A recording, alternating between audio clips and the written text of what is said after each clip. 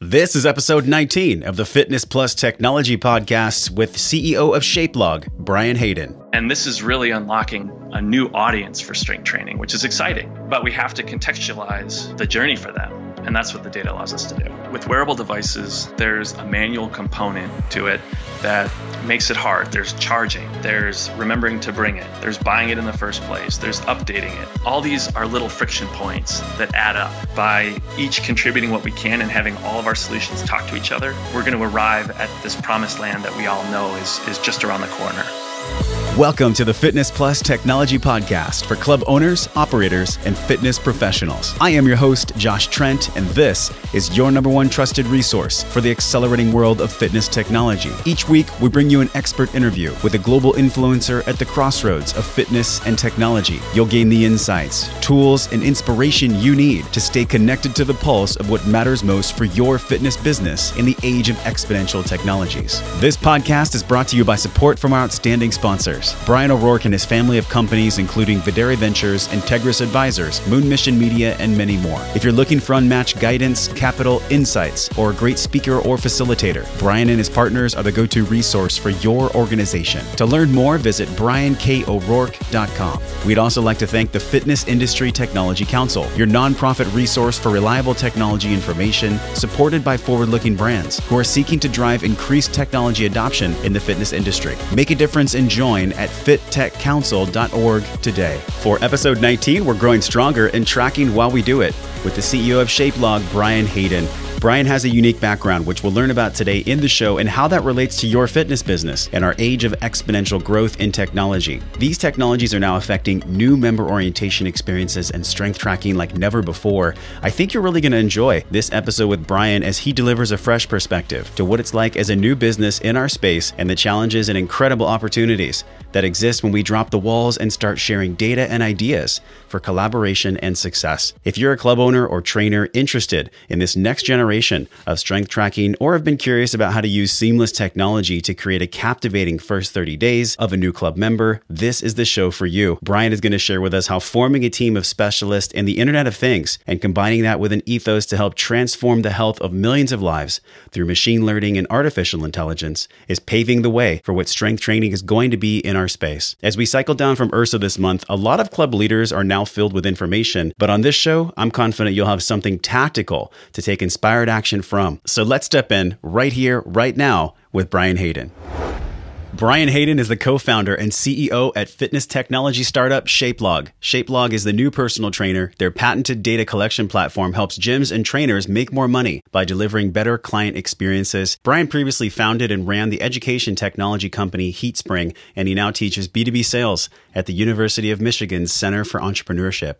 Brian, welcome to the show. Thanks for having me, Josh. This is going to be really fun. We had a couple conversations in person. We just wrapped up the FitC Roundtable at IHRSA, your company. It's providing data for better strength training. Tell us a little bit about Shapelog, and I want to dive into your background as well. But first, what is Shapelog? Shapelog is a new kind of fitness tracker.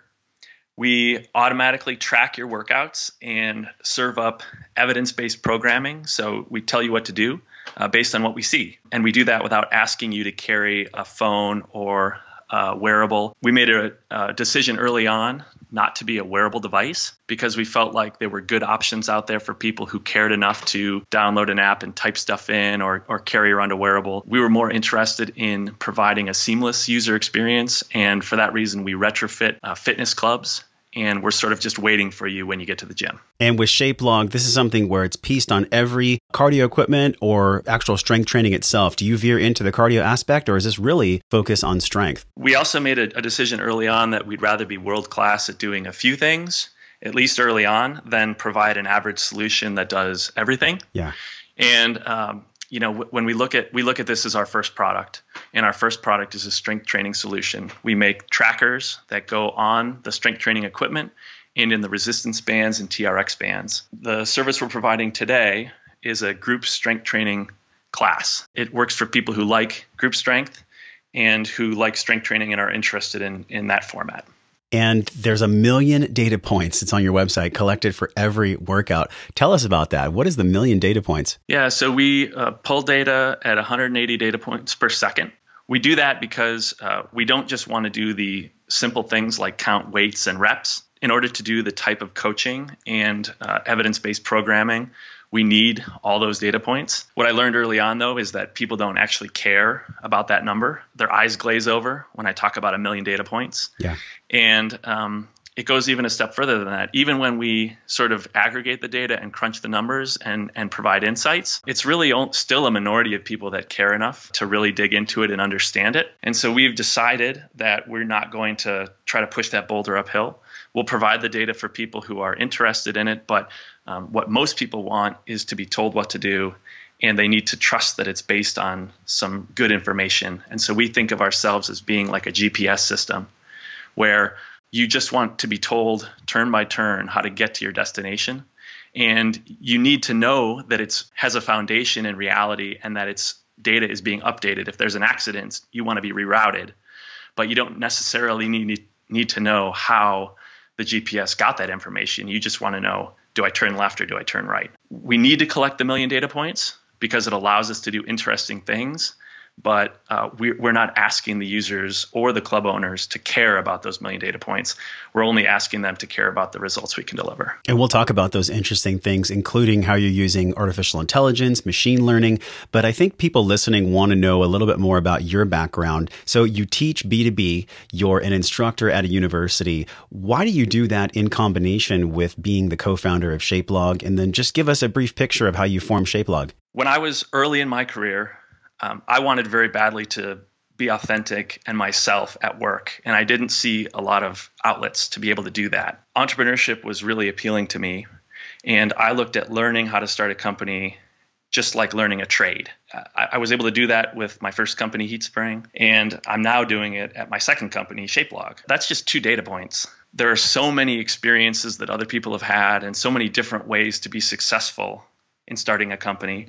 And I, I teach because it allows me to pick my head up and see how other people are doing it and study all the and live vicariously through other entrepreneurs. Mm. And then uh, the process of digesting that information and breaking it down to teach it to undergrads, especially smart engineering undergrads, is just so healthy for me and my decision making, and it helps me think more clearly. So I think I'll always want to teach as just part of the mix of what I do as a professional.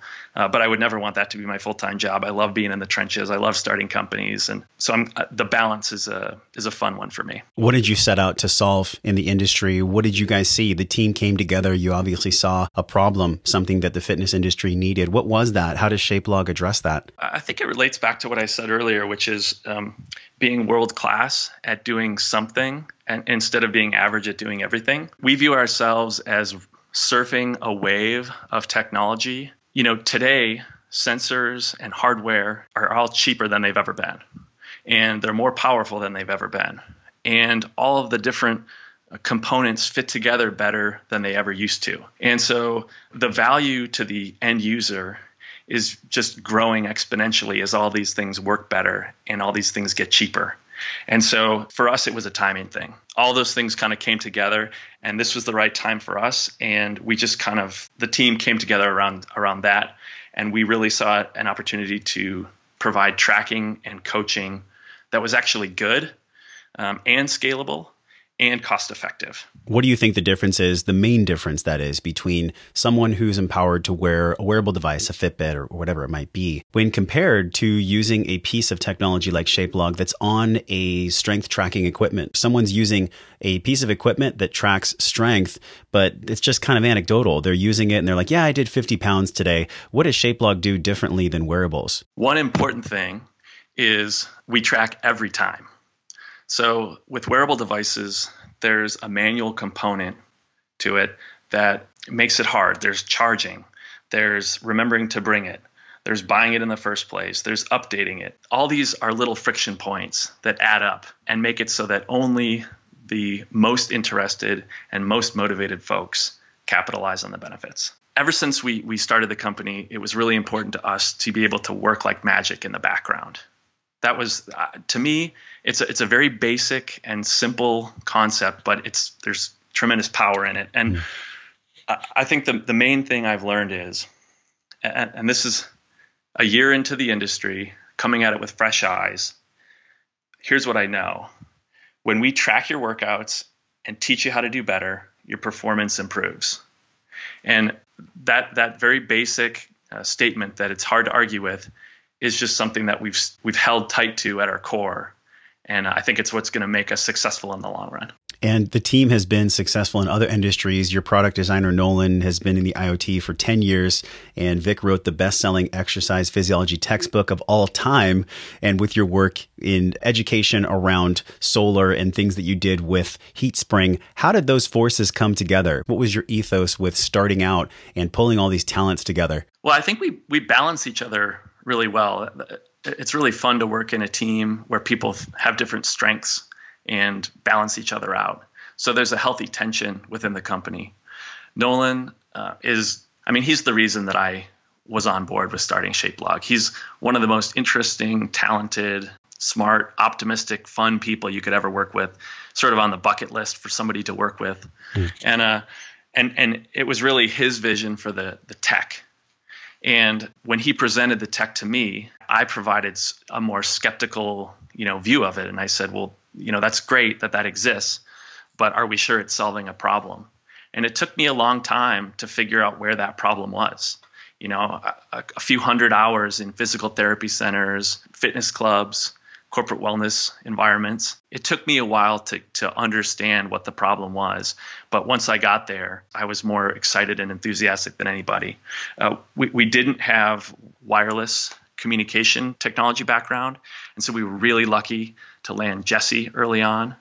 And he, uh, you know, is trained as an Army intelligence engineer, um, and he had oil and gas experience, so helping devices talk to each other in a gym environment, which is a pretty challenging environment. Yeah, um, that was something he brought to the team, and he sort of accelerated our development cycle. Um, you know, tenfold. That is fascinating. I love how you've diversified the force. And I just want to say that this is not something, at least in my experience here, learning about your product. You're not trying to put trainers out of business. It's just that, as we talked about at the FitC roundtable at IHRSA, training doesn't scale. And that's a problem for trainers and, and clients that want to let go of weight and also clubs that want to have member retention. So people in the United States spend more than $10 billion on personal trainers every year. What do you see ShapeLog doing to help trainers scale their services? Yeah, it's our perspective that good trainers should make more money and be more impactful and help their clients in more powerful ways than they currently can today. And, and you said it exactly right. Trainers don't scale. Uh, we also think that there are a lot of trainers out there who aren't adding a lot of value. And so um, it makes it harder for the good trainers to articulate their value and charge what they need to charge or what they deserve to charge. Yeah. Um, so that they can earn a, a good living and uh, you know stay in the industry and give the industry a good name. The good trainers we talk to view ShapeLog as a tool to help them have better conversations with their clients, to be able to see and talk about things that they aren't able to see or talk about today because they don't have the information to to make those decisions. What kind of information do you think is most powerful in conversation? I mean, I'm thinking back to when I was on the floor for 10 years as a trainer. I would typically ask anecdotal questions. Hey, Mrs. Smith, how's your eating been? How have your steps been? This is before wearables really took off. Mm-hmm. What do you see now as far as combining the wearable with the Shapelog? Is there room for both? Can Shapelog in the future ever see using wearables and its technology in harmony? No doubt. So uh, the value to the to the users and to the trainers will grow exponentially when all this stuff talks to each other and you can have a complete picture of your client. We have to get there. And, and that's not where the industry is today. Given where we are today within strength training, the information we're providing today are really basic things like weight settings. How much weight did, the, did they do last time? These are things that you can track, but it doesn't make sense for a trainer to be spending their time recording things or writing them down yeah. or retrieving, uh, you know, clipboards and papers. It's just uh, an inefficient use of time. And uh, there's so much friction that goes into these interactions. Anything you can do to, to, to alleviate that friction, it just just helps the trainer and, and it helps the, the users. Other things are relative strengths and weaknesses. I think that when you have an hour of time that you spend with somebody, you get a general sense of their relative strengths and weaknesses, but it's easy to forget about those things over the course of the week working with 30 or 40 different clients. So to be able to have that at, at your fingertips and to be able to, to, to, do a deep dive, it's just fodder for great conversations and more effective workouts. This is the first year in fitness. You're going to have such different answers in another year, right? I mean, yeah. you're going to be in clubs. And do you feel like with some of the clubs that you've been talking to, what is their level of interest with the Shapelog solution? Yeah. So here's my impression club owners are inundated with technology solutions and um, they're really busy and uh, in many cases undercapitalized. And that's informed our approach to be a channel partner with the clubs and provide our, our solution at no cost to the clubs. The sales cycles are incredibly long in my experience in talking to the club owners and really all everyone's trying to do is delight the end user and so uh, we've just tried to take the most direct path to delighting the end user and when we when we can say that we'll come in at, at no cost to the club it's it's kind of an easy guess so, um, in a lot of ways, we're sort of punting on the club owners' interests. They're, they're all very interested in making more money, and they're having a hard time parsing out who's going to be able to help them do that and who's going to be able to to really delight their members.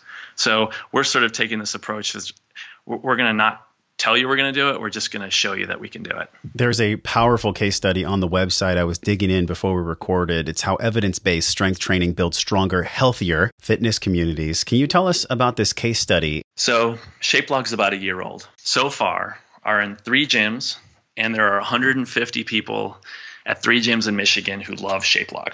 The same approach and technology that we used to change 150 lives is the same technology that we'll use to change 150,000 lives or 50 million lives. And so I love stuff that's real, and Shapelog's done some already some re- very powerful and real things, and that's what we tried to communicate with that case study. Um, anytime that I'm wondering, you know, big picture strategy questions, or you know, anytime we're having trouble making decisions about where to take the business, we return back to the gym back to those 150 people who are having their lives change and, and love what we're doing uh, because the, the truth lies there. We're excited to scale, and that's what we're our, our, plans are all around scaling over the next six months. You know, we're willing to be patient. You know, we want to make sure that uh, we're thinking through everything, and that's what we're doing in the gym today. That's what's in that case study. And we'll link the case study in the show notes. All but just one of the participants increased their work output capability. You know, I love the way that this conversation is going because I'm looking at clients' data all the time and I'm trying to figure out how can we create meaning out of this data? And I'm sure you come across this quite a bit in conversations with club owners. The data is great, but without context, without meaning, the data doesn't mean much. Are there a key few or maybe like a handful of data points mm. that you think really help people in regards to strength training and tracking strength training? Everybody wants to know where they stand with strength training. When we launched, we launched with a leaderboard similar to what you'd find at Soul Cycle or Orange Theory. And we had a big leaderboard and we were tracking instantaneous power and work within a group class setting. And almost instantaneously, we got negative feedback on that. That's because strength training is an intimidating thing for most people. And so uh, we killed the leaderboard. And then uh, we didn't really provide any comparative data to folks, even privately. We instantaneously got bad feedback on that. So what I learned is everybody cares where they stand. Nobody wants that information public. So with, within strength training, I'm a 38 year old uh, former athlete. I'm curious, you know, what my strengths and weaknesses are so that I can design my workouts around that. I want to know am I fit for my age?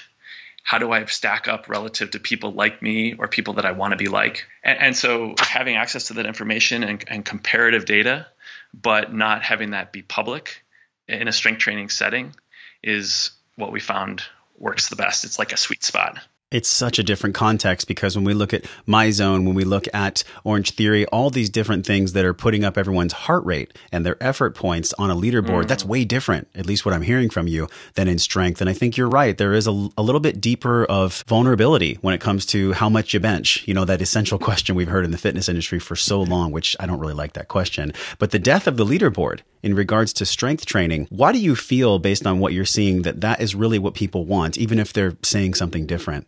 I guess a few things. Um, we're measuring performance, not effort.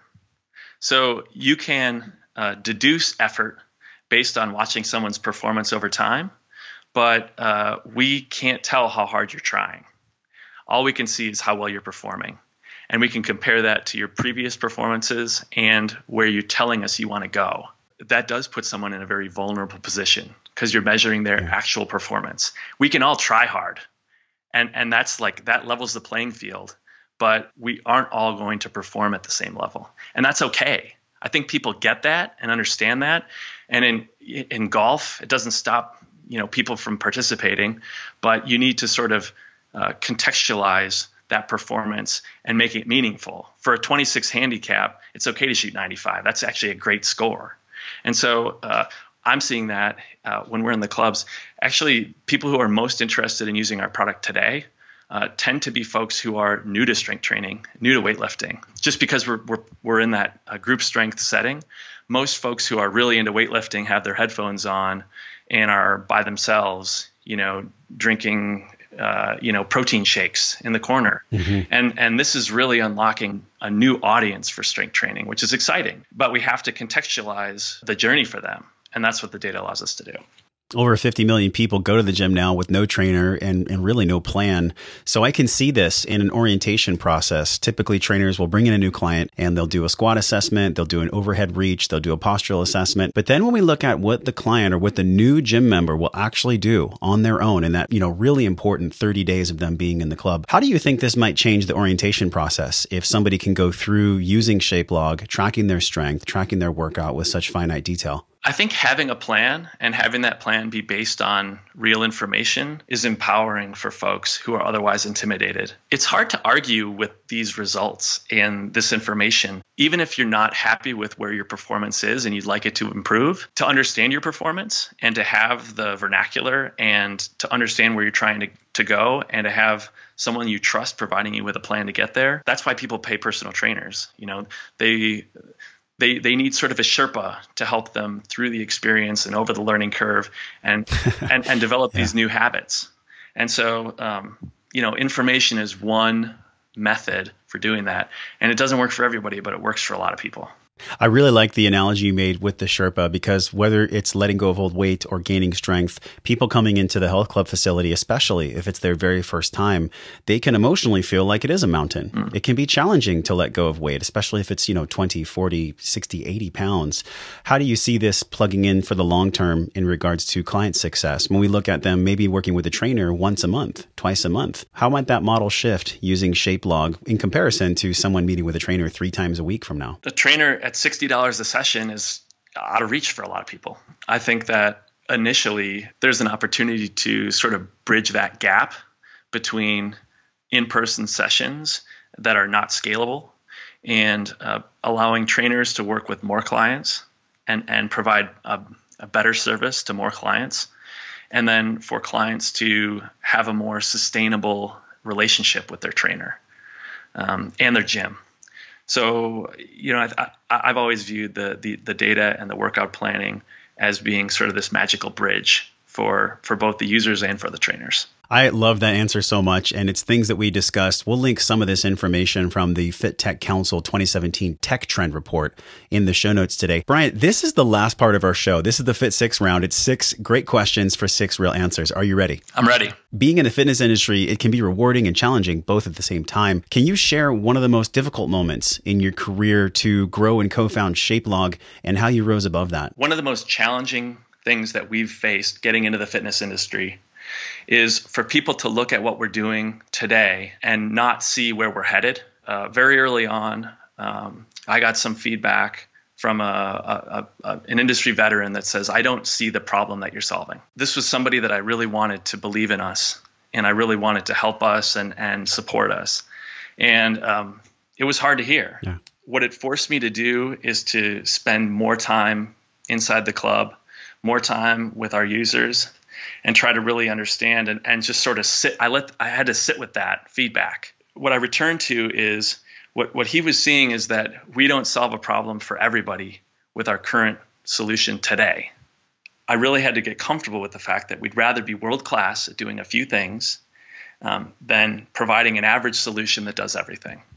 and being comfortable and trusting in the fact that ultimately we'll be able to, to be a better contributor to the fitness industry if we can be truly excellent at helping some percentage of existing people solve a, one of their problems instead of trying to solve everybody's problems. And I've come back to that uh, frequently, and being in, in the clubs and seeing our users really helped me do that. What is one of the best pieces of advice you've ever received when it comes to staying healthy as a professional who is in the industry, running around to gyms and having a full day as everyone does? What makes the difference for you as far as advice you've received to stay healthy? One of our contributing team members early on at ShapeLog is Dr. Victor Katch. And Vic is like a legend. He designed the first NFL combine. He was the first women's basketball coach at Michigan. He wrote the, the this best-selling t- exercise physiology textbook. And his advice was to not overlook the small moments and not let perfect be the enemy of the good, and to just keep going and keep moving. Um, I mean, Vic's in his early 70s, and I mean, he looks like 30 years younger than that. And it's just because um, you just you just keep going and and you don't stop and that that that advice really rings true for me. What has surprised you the most about either fitness or technology in the past couple years? I've been most surprised by how little technology is actually delivering on its value today. It hasn't deterred me in any way uh, about how much power there is in what we're all doing. And I really just, I think the key is when we all start working together and talking together and providing the, the ultimate value that we all know is possible for the end user by each contributing what we can and having all of our solutions talk to each other that's when it's really going to we're going to arrive at, at this promised land that we all know is is just around the corner. Just the how many opportunities there are to do that still today um, is exciting but it's also a challenge. Looking at the home space busy families over the next three to five years what technology do you see changing that environment forever? Everybody's talking about Peloton right now. Um, and w- what I see is what they've done t- to allow families to work together toward their fitness goals and for families to have a collective fitness goal. Uh, because, uh, you know, it's so important to the rhythms of a family and how you organize and budget your time um, is so related. You can't you can't just look at dad or mom or the kids uh, in a vacuum. So, yeah. Providing opportunities for families to design their lives together in a way that that values fitness. I think those types of solutions are going to be poised for huge growth in the coming years. You talked about the future and how things will be radically different. And I think we're both in alignment that technology is serving the human condition, both in fitness and in wellness. But when we look at the roadblocks to growth, do you also see business opportunities with those roadblocks in your niche? What are those roadblocks and, and what are the opportunities in your niche? Yeah. The biggest roadblock are the walls that companies erect around their solutions. And uh, the more we can do to make uh, all of our solutions work together and talk together, uh, the better able we are to deliver on the promises that we're making to the end users. So, um, you know, I, I think I, I, think the those those roadblocks are coming down, and those those barriers are getting uh, you know more and more surmountable and everyone's talking and saying the right things and, and just seeing that in practice over the coming years i think is really exciting and it's what's going to make these next few years um, some of the most exciting ever for fitness technology Brian, you made it through. This is the last question the intersection of fitness and technology. What does this mean to you? In other words, what new possibilities for better health and businesses do you see coming to fruition through fitness and tech? For technology to be truly scalable, and to truly do all the things that we hope it can do, it's just got to work. It, it can't uh, require the user to have to learn something new or think something new. And everybody always gives the example of the iPhone, but it's just so good. It's just it just works. There's no instruction manual. You didn't have to figure out how to do all the things. It just worked. And I think the sooner that we can get to a, a point where all of our solutions just work, uh, the sooner that we can be delivering all the value that we all know is possible for the end user. Brian Hayden, thanks so much for coming on the show. You can learn more about Brian's company, Shapelog, at shapelog.com. We're also going to link the evidence based strength training guide in that show notes page. Brian, is there anything we missed in regards to tracking strength in this new landscape of really intimate data that people can take inspired action from? I just want to say directly to the to the listeners that um, you know we're very excited about working together and uh, collaboration, and I, I, think that came through in a, a lot of what we talked about today. Um, so, uh, hoping to reach out and connect with folks in the industry um, over the course of the of 2017. Also, just want to thank you personally. Um, I, as I said in our conversation before, I don't know where I'd get this information and and how I'd understand what was happening in the industry if people like you didn't didn't do stuff like this. And I, I love the podcast format, and I, I, really appreciate your your time and energy that you put into it. Thanks so much, Brian. I really appreciate that. And it's a lot of work and pride that we're putting into this because this is the information the industry needs. And you're right. The difficulty is getting it in bite sized pieces. So I so appreciate what you said about the podcast and I received that. And we look forward to what you're doing for the rest of 2017. We'll make sure to have you back on the show at some point and talk about the next case study for Shapelog. Thanks, Josh. The way our industry strength trains and how it tracks it is changing. Personalized workouts, automated tracking, accountability, and motivation are things that all great trainers and coaches already do. But with these retrofitted sensors that automatically track strength training workouts, trainers and coaches of today and the future now have technology on their side. Strength training is the second most popular form of exercise with health benefits that surpass many other modalities. So, with the Internet of Things and sensors like Shapelog, guiding a new member into a dynamic and engaged first 30 day experience will help a club operator's bottom line, not only by reducing attrition, but by increasing the likelihood of member results, which is why they came to the club in the first place. It's no surprise that the training model in our space does not scale, and that's a problem for trainers, clients, and fitness clubs alike. However, group training that's data driven is a perfect marriage with personal training in the same regard, but contextualizing that data and making complicated numbers easy for people to understand must be a focus and a mission for the greatest coaches and clubs in our space for the future. Most people just want to know what to do, so whether you're data driven or want the right direction based on data your body creates, the Internet of Things is showing us with companies like Shapelog, we can provide trusted on ramp solutions that benefit our users and club members for the long term. Thank you for listening to the Fitness Plus Technology Podcast. Here's a quick message from Brian O'Rourke. Hey, Josh, thanks so much for doing this great podcast. Friends, if you're enjoying this podcast, you're really going to enjoy following at Fit Tech Council. Follow me at Brian K. O'Rourke. And you'd really, really do us a big favor if you could go on iTunes or wherever you're listening to this and give us a five star. If you're enjoying it, please give us a five star and please share this podcast. Help spread the word about technology and the great opportunities it is creating for our industry space. Thanks so much for listening.